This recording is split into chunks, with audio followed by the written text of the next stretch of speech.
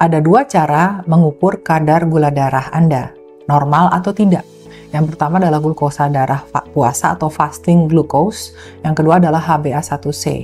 Tes glukosa darah puasa itu mengukur jumlah glukosa dalam darah Anda saat seharusnya berada pada titik yang terendah. Hal ini terjadi di pagi hari dan ketika Anda sudah lama tidak makan atau minum. Kadar gula darah puasa kurang dari 100 mg per desiliter adalah normal.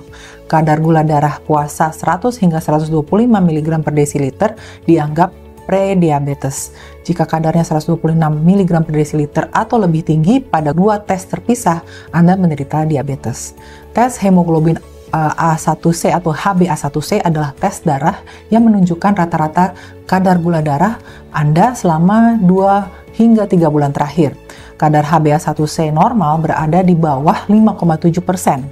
Kadar antara 5,7 persen hingga 6,4 persen menandakan pradiabetes dan kadar 6,5 persen atau lebih menandakan diabetes. Semakin tinggi HbA1c Anda, semakin besar risiko Anda terkena diabetes tipe 2. Hemoglobin A1C atau HbA1c adalah hemoglobin terglikasi, yaitu suatu bentuk hemoglobin yang secara kimia terikat dengan gula.